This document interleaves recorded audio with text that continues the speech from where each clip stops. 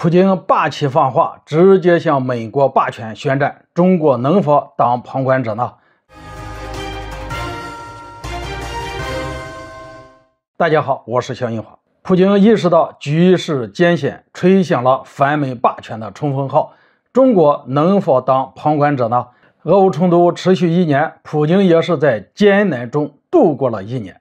众所周知，俄乌冲突如果不是美西方在背后拱火浇油，既不会发生，也不会持续到今天。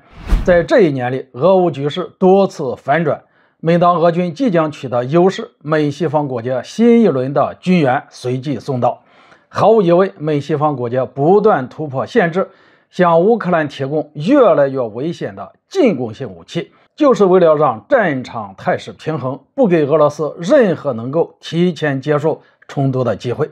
对于美西方国家的这些小心思，普京当然心知肚明。这不，普京在近日干脆直接把话挑明，称世界必须改变，俄罗斯反对构建只为美国利益服务的新世界。在一些观点看来，普京在这一时间节点这番霸气的放话。可谓是吹响了反霸权的冲锋号，要直接向美国霸权宣战了。不得不说，普京这番话确实说得很重，尤其是那句“俄反对构建只为美国利益服务的新世界”，可谓是直接戳了美国人最敏感的神经。毕竟，美国为了挑起俄乌冲突，也做了不少努力，至少其努力地让西方盟友，特别是欧洲盟友认为。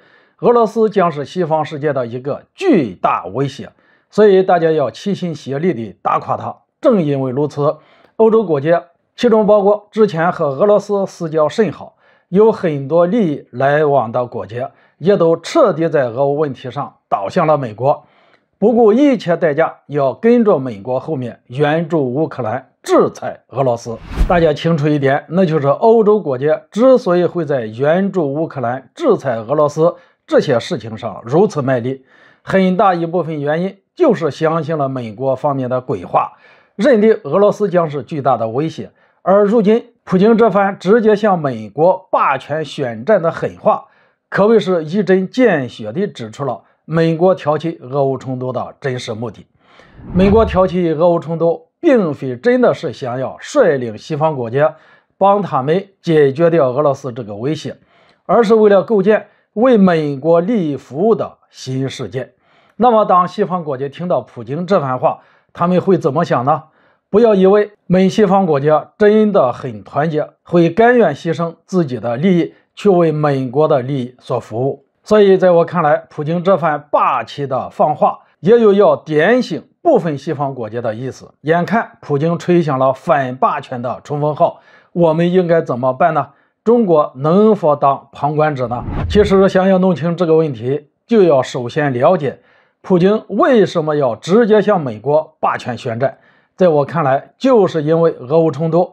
正如我前面所说的，俄乌冲突持续了一年，普京也整整忍受了美西方一年。但是很显然，不管是美西方在今年一月份决定加码对乌克兰军援，也就是要向乌克兰提供主战坦克，还是拜登在俄乌一周年如此敏感的时间节点，冒着风险对基辅进行访问，在国际社会面前彰显美国支持乌克兰的决心，这些动作都可谓是美国要让俄乌冲突持续的具体表现。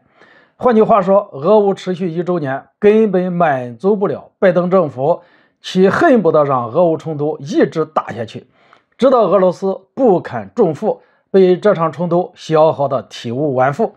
只不过美国在做，普京在看。而当普京意识到局势的艰险，再也不能任由美国继续挑事下去，于是就下定了决心，喊出了必须要让世界改变，反对构建为美国利益服务的新世界。再回到前面的问题，眼看普京吹响了反霸权的号角。中国能否当旁观者呢？其实对于这个问题，我相信大家心中都有一个答案。毕竟，想要把俄罗斯遭遇的一切在中国身上重演，是拜登政府想要做的，并且目前正在做的事情。好了，今天就说到这里，咱们下次见。